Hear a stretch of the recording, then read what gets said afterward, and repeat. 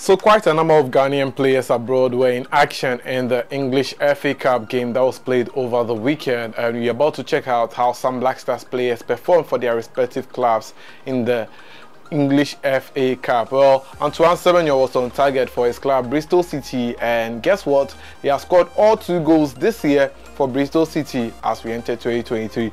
Also the likes of uh, Mohamed Salisu and Jordan Ayew clash in the game between Crystal Palace versus Southampton. Of course, we'll be looking at that as well as Baba Rahman. Uh, his side, that is Reading, won the game by two goals to zero. And a Ghanaian player, a young Ghanaian player, was on target for Reading in one of the goals. So, as usual, please stick and stay as I bring you up to speed on all that. All you have to do is please hit the subscribe button, like, share, and don't forget to leave a comment. Let's get right into it. So Jordan Ayew's Crystal Palace faced Mohamed Salisu Southampton in the Emirates FA Cup third round game which was played on Saturday 7 January 2023.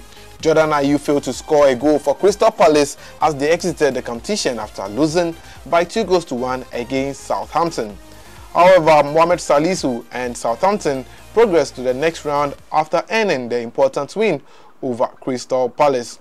Jordan Ayew and Mohamed Salisu both played 90 minutes of action in the game and it was Jordan Ayew who was deployed as a winger unlike last week where he played as the main striker and managed to score a goal for Patrick Vieira's men in that game that they played last weekend. The Black Stars forward put up an average performance after he returned to his wing position and his performance did not really overwhelm as he failed to score a goal in the game. He was rated 6.4 by SofaScore for his performance in the game. On the other hand, Black Stars defender Mohamed Salisu was the only player in Southampton's defense who did not pick up a card in the match. Three out of the defenders in Southampton picked up yellow cards in the game. Well, for Mohamed Salisu was rated 6.6 for his performance and he made one block, two tackles and engaged in nine duels in the match. Well, Jeffrey Schlupp later came on as a substitute in the 74th minute. The midfielder was rated 6.6 for his performance as he played just 16 minutes in the game. He had 17 touches on the ball with a passing accuracy of 71% and made one clearance in the game as Crystal Palace exited the Emirates FA Cup in the third round. Well, moving on, Daniel Amartey was an unused substitute for Leicester City in their 1-0 win over Gillingham. The Black Stars defender has been a pillar in defense for the Foxes but was made to rest in the Emirates FA Cup game as they progressed to the next round after earning that 1-0 win over their opponent. Well, also in the match that involved Hull City, well, Ghanaian striker that is Benjamin Tetteh made his return to action for Hull City in their 2-0 defeat to Fulham. The player has been out of action for the past three months and as a result, he even makes Ghana's 2022 FIFA World Cup in Qatar. Well, Benjamin Tetteh came on to play the last 18 minutes of the game and had a 70% passing accuracy. He was unable to save his side from defeat to Fulham. Well, Benjamin Tetteh has been in very good shape since joining Hull City, but unfortunately, his stay in England has been ruined to his first injury that he experience in the championship. Well, let's go on and do some more. And Tariq Lamptey also inspired Brighton to a 5-1 victory over Middlesbrough in the Emirates FA Cup. The right back was on hand to intercept and also make some good dashing runs which helped Brighton to end 5 goals in the game. The Ghanaian defender played 90 minutes of action with a superb passing accuracy of 92% in the game. Well, Tariq Lamptey was joined by English player of Ghanaian descent Danny Welbeck in the game who came on as a substitute to play the last 16 minutes of the game.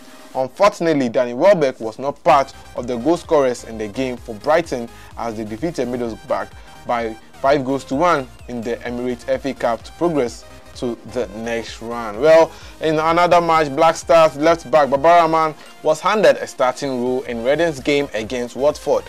Reading won the match by 2 goals to 0 to advance to the next level and guess what? A Ghanaian player was part of the goal scorers in Reading's victory over Watford. Well, Baba Rahman played a key role in the game and was deployed as a left back in a three-back role where he combined offensive and defensive duties. Well, he sent a couple of crosses in the game and lasted 86 minutes in the game before he was substituted. Well, let me tell you about the goal scorer for Reading in the game against Watford. Well, Kelvin Abrefa was the one who scored the first goal in the game for Reading in the game against Watford. Well, Kelvin Abrefa is a former Ghana under 20 player and was part of Ghana's uh, under 20 team that played in that uh, tournament in France. Well, Kelvin Abrefa was deployed more of uh, right back and was able to get the goal for Reading in the first half by the uh, 45th minute with three minutes of added time. Well, Kelvin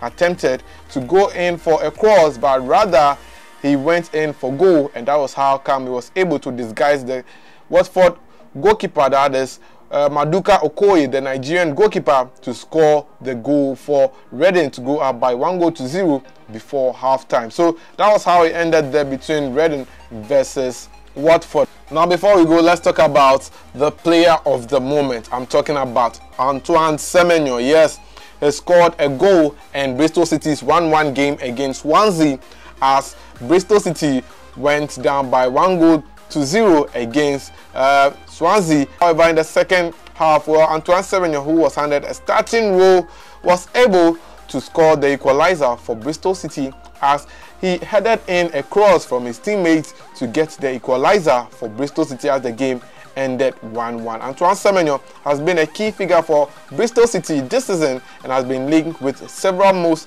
away from the championship side. But the player is in the form of his life and is enjoying time in the championship. Well, his side, that is Bristol City, will have to come up against Swansea in another fixture to determine who makes it to the next round of the uh, Emirates FA Cup. But this season, Antoine Semenyo has been in good form and has scored two goals in two games in the year 2023 for his side, Bristol City. Just last week, he was on hand to score one of the goals for Bristol City in their game that they played in the championship. And just this week, he has been able to register another goal for Bristol City in their game against Swansea. And from a player who used to come on as a substitute, now Bristol City play Antoine Semenyo in the starting role. And in this game against Swansea City in the Emirates FA Cup, Antoine Semenyo, the Ghanaian striker for the Black Stars, played the entire 90 minutes of the game and was able to do very well in the game. So yes, that is by way of update for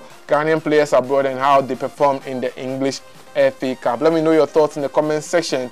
Thanks for watching. Please do subscribe, like, share, and don't forget to leave a comment.